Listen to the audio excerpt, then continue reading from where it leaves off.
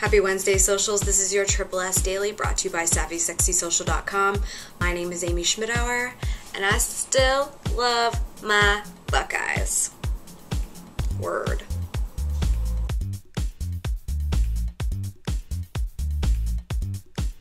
Sorry for the missing Tuesday episode, socials. I was a little under the weather. You know what that's like. And you're certainly not ready to be on video when you're feeling like that, right? Anyway, I'm back, and if you're lucky, I might have a Friday episode to replace it. We'll see. But uh, I've gathered a few articles for today's episode, and I am going to share them with you now. So let's get started.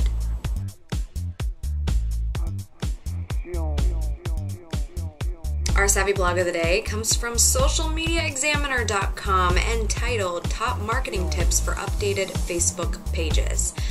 I was really excited to see this article today. It's actually mostly video from the lovely Mari Smith. Mari is kind of a social media goddess. If you're not familiar with her, you need to check her out. But she does most of the Social Media Examiner TV episodes. And in this episode, they talk about great marketing tips for your Facebook page. And I think it's very helpful because a lot of people are freaking out a little bit over the changes that have occurred with Facebook pages. Um, we talked about the photo strip last week, which can be something to your advantage, but there are a lot of other things that have moved or new features that you don't know about. You should really watch this video so that you can see what you can manipulate and benefit you in marketing for your business. So, check out Mari Smith and check out Social Media Examiner.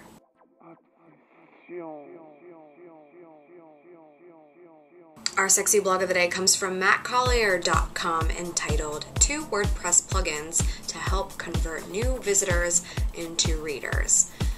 I'm super excited about this blog post from Mack because I'm always trying to come up with ways for visitors to SavvySexySocial.com to become readers and come back and stay and subscribe to RSS, subscribe to newsletters, want to come back for more information. Uh, one way that I've done that is through a Twitter welcome video. If you've ever clicked over from my bio on Schmittastic, which is my personal Twitter handle, or Savvy Sexy Socials Twitter handle, you click the link in the bio and it brings you to a special welcome page that nobody else sees with a video of me welcoming you from Twitter. So I'm always trying to come up with stuff like that. And Mack provides two WordPress plugins here that help go the extra mile in making people feel welcome on your site, make them want to come back. One of them is comment redirect, which I love. It's kind of the same idea as the video I was just telling you about, except for that when people leave a comment for the first time, it forwards them to a page that you create with whatever information you want um, saying thank you so much for your first comment. Maybe you'll want to subscribe to the RSS. Maybe you want to subscribe to my newsletter. Maybe you want to check out this related article. You can put whatever you want on the page, but this plugin gives you that power. As soon as they leave the comment, they go to this page and you welcome them in any way that you want. The other example was WP Greetbox, which you actually saw on the screen grab that I showed you for Mack's blog. And I'll show it to you again, where it says, hey, you're new. You should subscribe to my RSS. You know, that is really cool. That's a nice little reminder up there, like, yeah, actually, I do want to subscribe to your RSS feed. That is something really great. If you want people to subscribe, but you need to remind them to do it, hello, there you go. Two great plugins. Check out this article.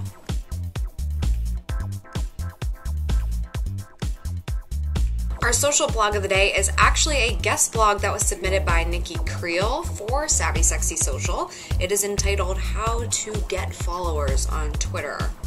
Don't you just love that title? Doesn't everybody want to know that? How how can I get some followers? I want some followers. Well, she has some really good tips here.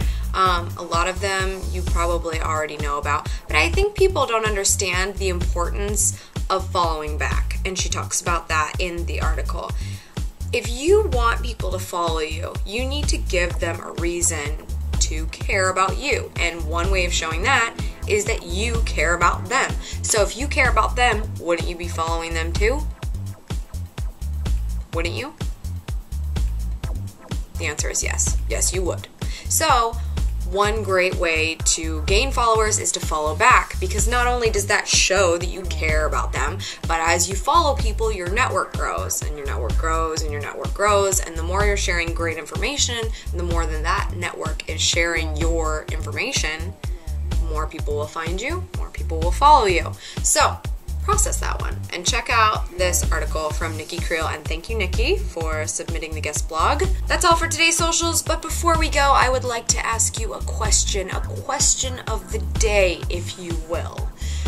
My question is if you could only use one social media network forever, what would it be and why? Leave your answer in the comments section and answers tomorrow. So I'll see you then.